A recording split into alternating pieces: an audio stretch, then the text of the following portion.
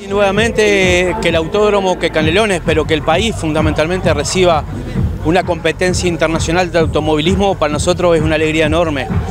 Para esto es que Canelones, el gobierno departamental, y por medio del gobierno departamental, todos los vecinos y las vecinas apoyan y apuestan este, a, a dar una mano, acompañar este proceso y después recibimos estas competencias que tienen mucho de generar no solo lo deportivo, sino también lo turístico, lo económico.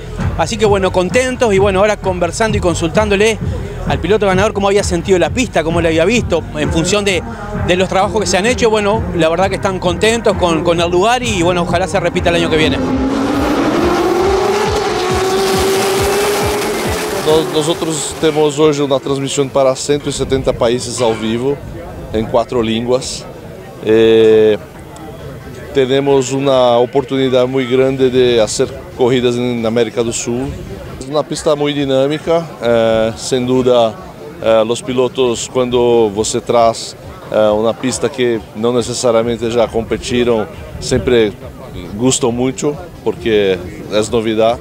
Então, temos uma, uma ótima estrutura, o autódromo, eh, a pista é muito segura, é uma pista homologada FIA Grado 4, então é, viemos com muita satisfação.